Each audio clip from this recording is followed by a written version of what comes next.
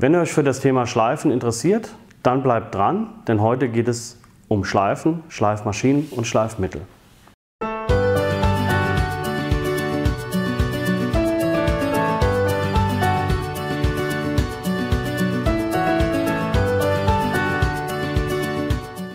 Im derzeit laufenden Online-Kurs habe ich gezeigt, wie man eine solche Leimholzplatte herstellt von der rohen Bohle aus. Die Platte ist jetzt fast fertig. Diese Seite muss noch geschliffen werden. Ich weiß, keiner von euch schleift gerne. Gehe ich einfach mal davon aus.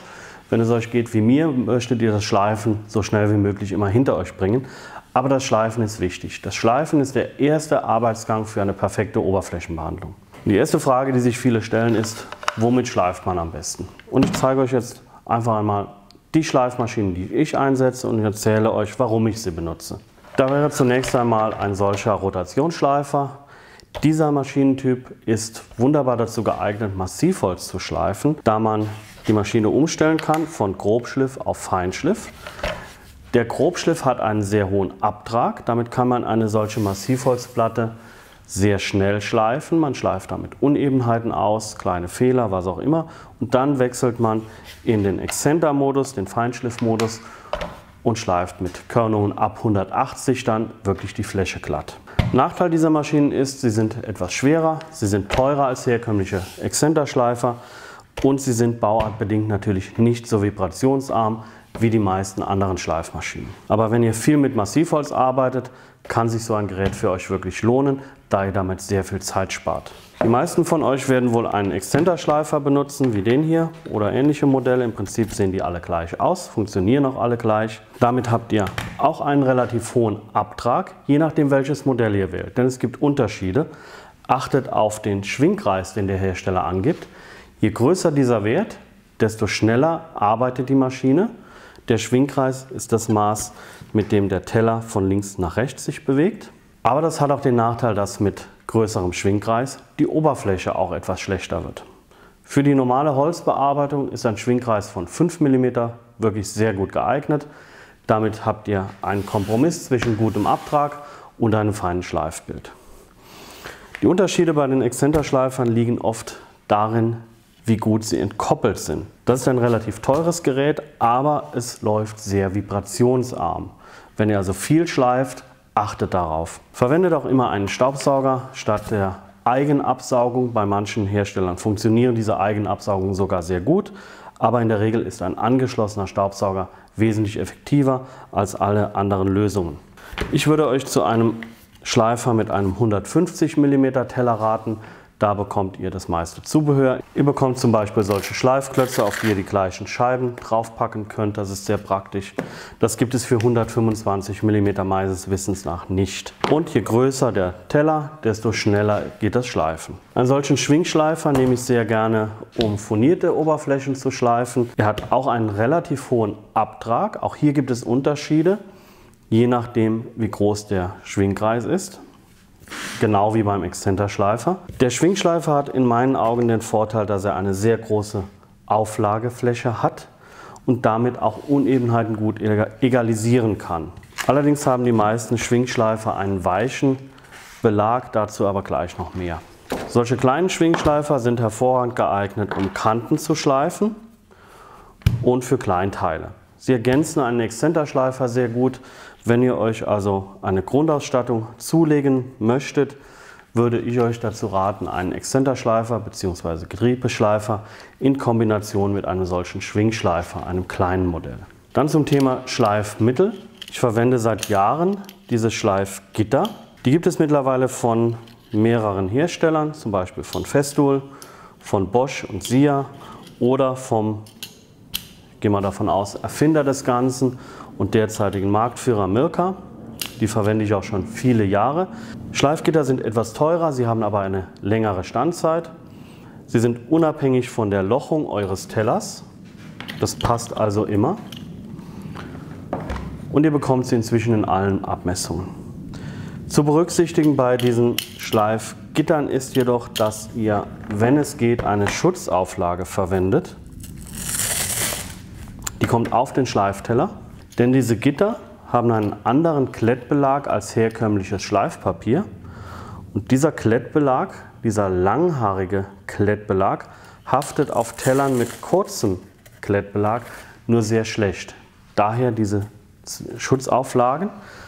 Die Schutzauflage hat auch noch den Vorteil, dass sie euren Teller schützt, wie der Name schon sagt, und zwar vor ungewollter Beschädigung und auch durch Abrieb, denn das Schleifgitter erzeugt auch auf der Rückseite mit der Zeit einen minimalen Abtrag, was euren Klettbelag kaputt macht. Und so ein Schleifteller kostet schnell mal um die 50 Euro. Da ist es billiger, diese Zwischenauflage, diese Schutzauflage für wenige Euro zu tauschen. Ich greife einer Frage schon mal vor, welches dieser Gitter würde ich empfehlen. Das kann ich noch nicht beantworten, da ich seit Jahren das Abranet von Mörker verwende und diese beiden Sorten jetzt neu habe und für die Zeitschrift Holzwerken einen Artikel schreibe, wo ich diese drei Schleifgitter teste und auch viele Details zum Thema Schleifgitter noch erzählen werde, schreiben werde. Also wartet da noch den Artikel ab. Im Moment kann ich euch nicht sagen, ob es da irgendwelche großen Qualitäts- oder Standzeitunterschiede gibt. Was oft unterschätzt wird, sind die Schleifteller. Die gibt es bei den Markenherstellern in unterschiedlichen Härtegraden. Es gibt harte Teller, mittelhart und weiche. In der Regel werden die Maschinen mit mittleren Tellern ausgeliefert und ihr könnt harte Teller und weiche Teller nachkaufen. Diese Teller kann man auswechseln. Das ist jetzt ein harter Schleifteller für diese Maschine. Und ein solch harter Schleifteller hat den großen Vorteil, dass er Unebenheiten egalisiert. Nicht so ganz, nicht so extrem wie ein Hobel, aber ein harter Schleifteller ist deswegen für Massivholz wesentlich besser geeignet als ein weicherer. Wenn ihr kleine Unebenheiten in euren Massivholzplatten habt, könnt ihr die mit einem harten Schleifteller egalisieren, während ein weicher Schleifteller diesen Unebenheiten folgt, sie eventuell noch größer macht. Ein Riesenvorteil hat ein solcher harter Schleifteller auch bei Nadelhölzern, denn bei Nadelhölzern habt ihr oft den Effekt, dass die weichen Holzteile viel stärker ausgeschliffen werden als die harten Holzteile, weil dieser weiche Schleifteller auch dort den Unebenheiten folgen kann. Je länger ihr schleift, desto kräftiger wird dieser Effekt. Nehmt ihr einen harten Schleifteller, ist dieser Effekt wesentlich geringer oder erst gar nicht vorhanden.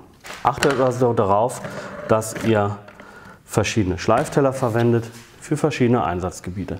Ein weicher Schleifteller ist geeignet für den Schliff von Furnieren oder Lackoberflächen, also den Zwischenschliff. Denn ein weicher Schleifteller verzeiht auch mal ein leichtes Verkanten eurer Maschine.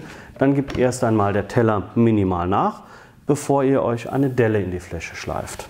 Ich habe euch zum Thema Schleifmaschinen und diesem Gitter hier auch noch Artikel verlinkt.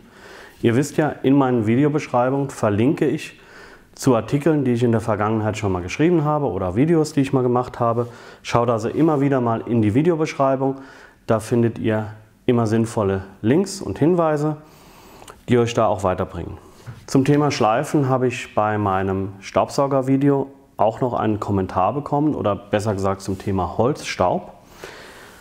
Der Kommentar, ich blende ihn euch ein, wenn ich ihn schnell wiederfinde, ging frei übersetzt so, dass Holzstaub nicht gefährlich sei, da Holz ja ein natürlicher Stoff ist. Das ist Unsinn, denn jeder Stoff, der fein genug ist, um in eure Lunge einzudringen, ist gesundheitsschädlich. Dazu gehört auch Holz. Saugt also beim Schleifen immer ab, alleine wegen eurer Gesundheit. Wenn ihr nicht absaugen wollt, nehmt eine Atemschutzmaske mit P2-Filtern. Das Absaugen hat aber noch zwei, zwei Vorteile. Zum einen erhöht es die Standzeit eures Schleifpapiers enorm, wenn ihr absaugt und nicht den Staub immer wieder verreibt. Und es verbessert eure Oberfläche, da ihr den Schleifstaub abzieht und nicht immer wieder über die Oberfläche reibt. Zum Thema Absaugen habe ich ja schon ein Video gemacht, auch zum Staubsauger, das verlinke ich euch auch nochmal in der Videobeschreibung. Schaut da nochmal rein. Auch wenn Schleifmaschinen nicht so laut sind wie andere Maschinen, in Kombination mit dem Staubsauger wird das Ganze laut. Daher ist auch der Gehörschutz Pflicht beim Schleifen mit der Maschine. Soviel zum Thema Sicherheit. Ein weiterer Aspekt, den man nicht ganz außer Acht lassen sollte, ist die statische Aufladung, die beim Schleifen und Absaugen passiert. Wenn ihr einen Staubsauger habt mit Antistatikausrüstung, dann ist das kein Thema. Da habt ihr spezielle Schläuche, der Staubsauger ist geerdet. Habt ihr das aber nicht, lädt sich das ganze System beim Arbeiten auf und ihr bekommt zwischendurch, wenn ihr an den Schlauch kommt, einen Stromschlag. Der dadurch entstehende Funkenflug ist jetzt weniger gefährlich, da ihr in der Nähe dieser Funken, auch wenn ein Funkenflug im Schlauch entstehen sollte, kein zündfähiges Gemisch aus Staub und Luft habt. Das ist also nicht das Problem, es ist aber sehr unangenehm, wenn ihr beim Schleifen dauernd einen Stromschlag bekommt. Und damit möchte ich mich von euch verabschieden für diese Woche. Ich wünsche euch viel Spaß in eurer Werkstatt, ich wünsche euch ein tolles Wochenende und wir sehen uns nächsten Freitag wieder.